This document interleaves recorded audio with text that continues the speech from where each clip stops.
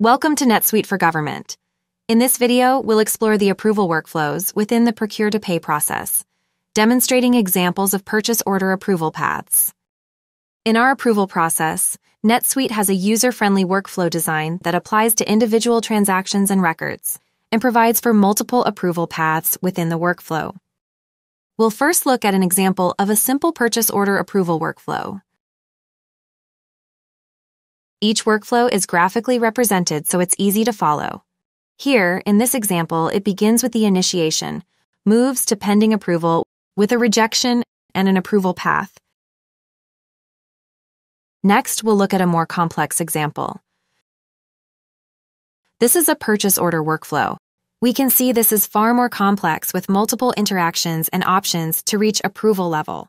We have the initiation, and then it branches off with the option of emergency approval, depending on the conditions you create. Alternately, it will route through the purchasing department. For customers who do not have centralized purchasing, with a simple edit, we can have it go directly to the department manager. Each individual line is considered a transition, and each transition allows additional criteria. In this example, transactions that require an approval will route from the department manager to the department director. The condition in this case is defined as being greater than $5,000. If the PO is greater than $10,000, it will route to the finance director.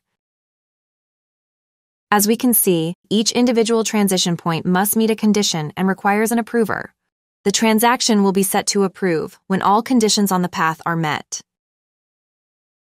These are just a couple examples of purchasing workflows, which can be as simple or as complex as required.